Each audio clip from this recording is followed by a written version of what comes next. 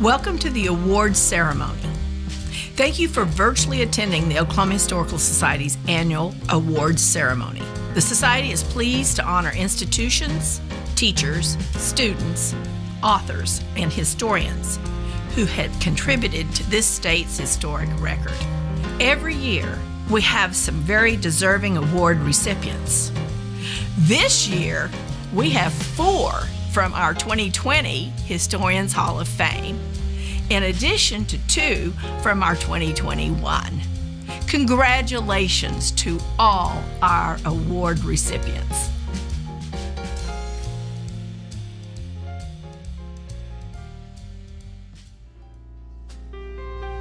David Levy, outstanding book on Oklahoma history. Breaking Down Barriers George McLaurin and the Struggle to End Segregated Education. National Cowboy and Western Heritage Museum. Outstanding Regional Historical Museum. Priya George, the Joseph B. Thoburn Student Historian Award for Outstanding Achievement in the Study of Oklahoma History. Linda Wilson, the Muriel H. Wright Award for the outstanding article appearing in the Chronicles of Oklahoma Women's Suffrage in Oklahoma and Indian Territories, 1890 through 1907. Greg Oppel, the William B. Pennington Teacher Award for outstanding instruction in the field of Oklahoma history. Bradley Fritch, the outstanding thesis on Oklahoma history. Culture on the Prairie, celebrating Oklahoma's art museums and their contributors in the 20th century. Oklahoma Genealogical Society, outstanding OHS support organization.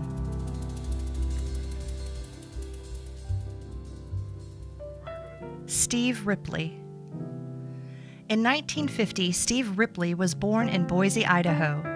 His family soon moved back to their family farm near Glencoe on land his family acquired in the 1889 Oklahoma Land Run.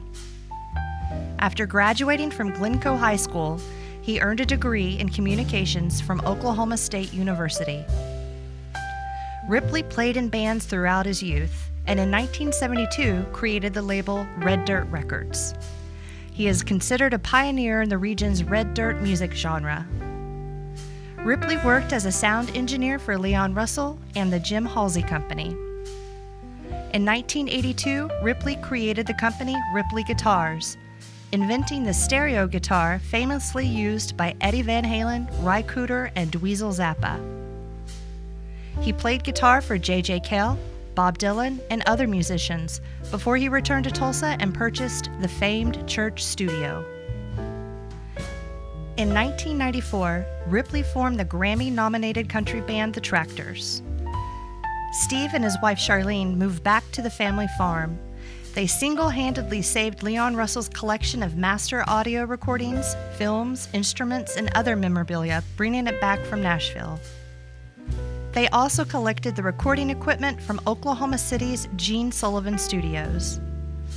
Ripley worked with the OHS to create the 20 part radio show on Oklahoma rock and roll.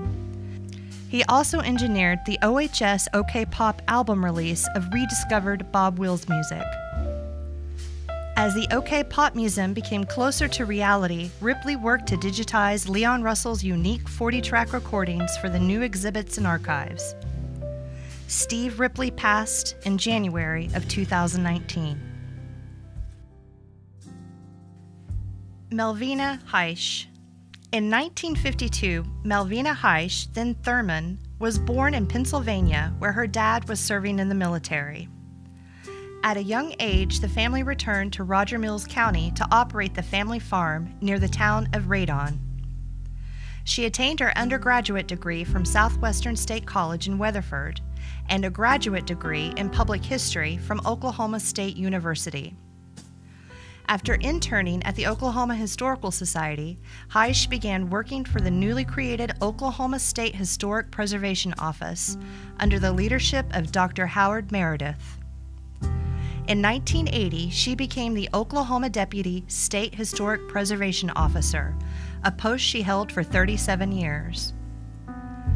During this time, Heisch increased the number of National Register listings from a little over 200 to well over 1,300. In 1982, Melvina edited the book Women in Oklahoma A Century of Change. She also contributed a number of entries for the Encyclopedia of Oklahoma History and Culture and several articles for the Chronicles of Oklahoma. Heisch served on the board of directors for the National Conference of State Historic Preservation Officers and is a member of the Federal Advisory Council for the National Park Service's Route 66 Corridor Preservation Program. In 1996, Heisch received the National Preservation Honor Award for her leadership in Oklahoma's State Historic Preservation Office. In 2015, she received the U.S. Secretary of Interior Historic Preservation Award. The next year, the Oklahoma Route 66 Hall of Fame inducted Heisch. In 2017, Melvina Heisch retired after more than four decades of service to the Oklahoma Historical Society. Jack Frank. A native of Pittsburgh, Pennsylvania, Jack Frank moved to Oklahoma to attend the University of Tulsa.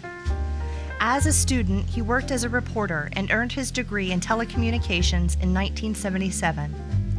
He started his career with the radio station KRAV in Tulsa. Frank later attained a position as the station manager for the Oklahoma Educational Television Authority in Tulsa. There, he began airing segments from the television station's archival footage that featured places and events in Tulsa's history. Frank later created Jack Frank Productions and has produced more than a dozen documentaries related to Oklahoma and Tulsa history, including Tulsa Deco, Tulsa A to Z, and the Glen Pool Story. Frank is also a partner at the PR firm Schnake, Turnbo, and Frank. He is on the board of directors for the Tulsa Historical Society, the Salvation Army of Tulsa, and the Tulsa Foundation for Architecture. Gaston Litton. In 1948, he relocated to Norman and started the Manuscript Division of the University of Oklahoma Library with funding from the Rockefeller Foundation. This eventually combined with the university's Frank Phillips collection to become the Western History Collections. In 1939, he co authored Cherokee Cavaliers 40 Years of Cherokee History as told in the correspondence of the Ridge, Watie, Boudinot family. In 1955, the Oklahoma Hall of Fame inducted Gaston into its ranks. In 1957, for the centennial of Oklahoma statehood, he wrote four volumes titled The History of Oklahoma at the Golden Anniversary of Statehood.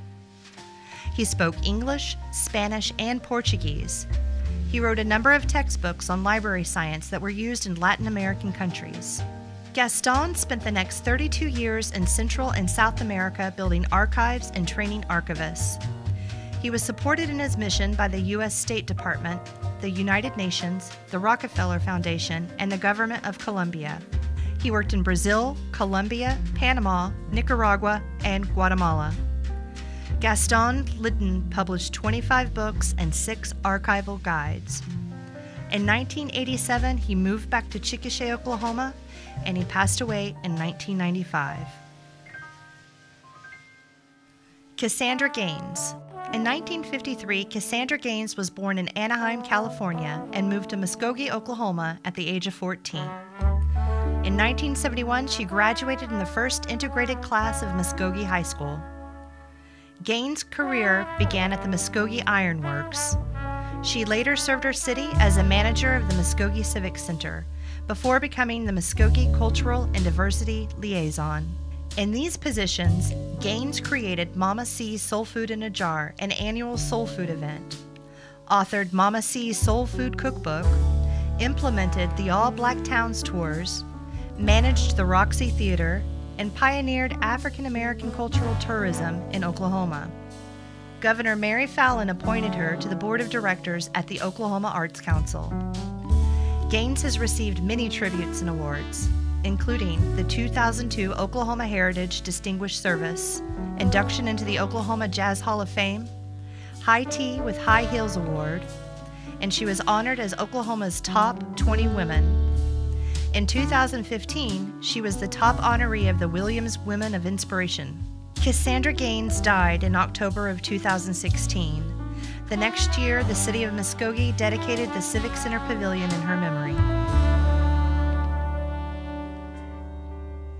Bruce Fisher was born in Chickasha in 1952. His family soon relocated to Oklahoma City. He attended the historically black Langston University and attained a master's in history at Texas Southern University in Houston. Fisher worked for Norwest, a banking holding company, before holding the position of Assistant Secretary of State for Oklahoma under Hannah Atkins. In 1980, when President Jimmy Carter appointed Atkins to the UN, Fisher became acting Secretary of State. Later, he held the position of Director of Institutional Advancement for Langston University. Fisher joined the Oklahoma Historical Society in 1999 and spearheaded the organization's efforts to collect, preserve, and share the state's African American history. In these efforts, he gathered artifacts, stories, and photos to create the Oklahoma History Center's African American exhibit. Fisher and his team won a Telly Award for the documentary Second Street, the Heart of Oklahoma City.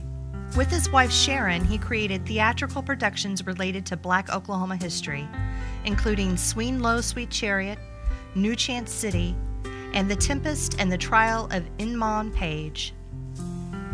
In 2001, Bruce organized the first Kansas Colored Voluntary Infantry Civil War Reenactors Group, who participated in numerous Civil War events, including reenactments of the Battle of Honey Springs, Cabin Creek, and living history programs.